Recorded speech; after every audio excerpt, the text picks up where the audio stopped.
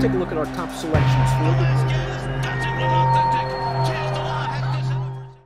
Hi, everyone. The feature race on Saturday at Los Alamitos is the $100,000 Soviet Problem Stakes. It's a one mile race around two turns for California bred two year old fillies who will be trying to restore some normalcy to the juvenile filly division out in California. It was one week ago on Saturday that the grade one starlet completely disintegrated. The odds on favorite Princess Noor was pulled up with a tendon injury and retired. Second choice Astute did not show any speed from the gate and finished out of the money. And the winner Varda won the grade one starlet with a whopping 68 Beyer speed figure. So it was not a very good day for the juvenile filly division in California last Saturday. Maybe the California bred juvenile fillies will, you know, add some stability perhaps to the division. And who knows, maybe a California bred, considering the state of the division, maybe a California bred will emerge as a potential stakes player in the against open company, or maybe the Soviet problem on Saturday is nothing more than a segue, a bridge toward the $200,000 California Cup Oaks. That's at Santa Anita on January 16th. At any rate, the Soviet Problem Stakes is named after one of the best California bred filly mare sprinters of all time. In the early 1990s, Soviet Problem won 15 out of 20 starts. Two of them were match races. She won three stakes races against males. The best race of her career was probably one of her infrequent losses. It was in the 1994 Breeders' Cup Sprint. She lost by a head to Cherokee Run. Soviet Problem was owned and bred by John Harris and Don Valpredo. She was trained by Greg Gilchrist, and it is appropriate that Los Alamitos honors her memory by naming the this California bred stakes in name after Soviet problem. Okay, let's start handicapping before I get too confused with my own verbiage. A field of 11 entered the Soviet problem. 10 can start.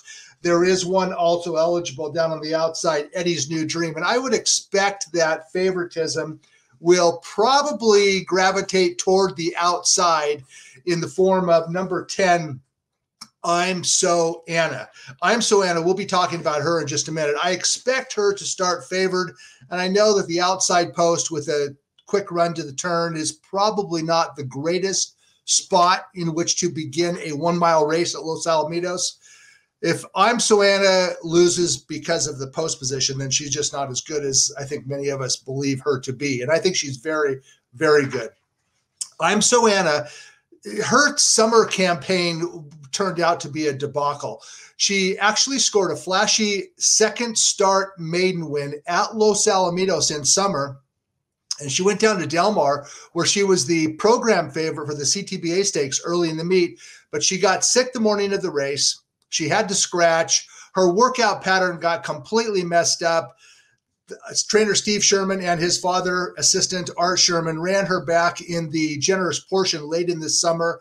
And I'm So Anna was just not right. And she finished an okay second. It was disappointing because she was the favorite. And then Sherman took her back home to Northern California to Golden Gate Fields. And when you look at her pedigree, she's by Fast Anna, a sprinter, and she's out of a low caliber, claiming caliber sprint mare sired by just Jet West. You wouldn't look at the pedigree page of I'm So Anna and say two turns, but Steve Sherman knows what he's looking at. And aside from her pedigree, she looks like a route horse, according to Sherman. She's long, she's lanky, she wants to run long, and Sherman took her home and stretched her out. She ran second against the May boys in an allowance race, and then last time out, in the Pike Place Dancer. This was October 31st at Golden Gate Fields, and that's I'm So Anna on the front end. Now it's true she got an easy lead. She went 25 opening quarter,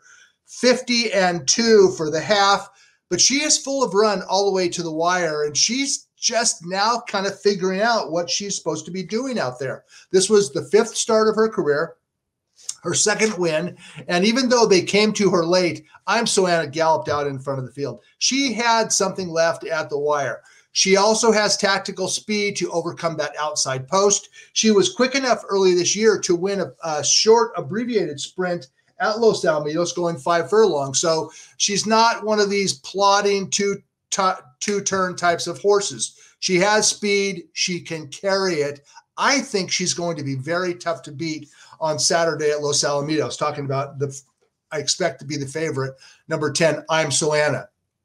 Maybe it's not a one horse race, however, because there are a couple of fillies in here that are entering this race with conspicuous patterns of improvement, including Dylan's Wildcat. Dylan's Wildcat, last time out, she was a 15 to 1 long shot in the Golden State Juvenile Fillies. And this race was down at Del Mar. It was a seven furlong sprint at Del Mar for Calbred Fillies. And Dylan's Wildcat, that's her on the outside. She's going to take the lead and she's going to end up getting beat in a race that she had won in deep stretch. But you have to do yourself a favor. Here comes September Secret on the outside, and she's going to pin a very narrow defeat on Dylan's Wildcat. Fire up Formulator and go back and watch the entire replay of Dylan's Wildcat because when she came out of the gate, she kind of got shuffled back a little bit early. She was throwing her head around. She did not like the dirt in her face at all. So jockey Mike Smith took her to the outside and she lost ground every step of the way thereafter, but she also was in the clear. Now, Smith is not riding on Saturday. Dylan's Wildcat will be ridden by Flavien Prat.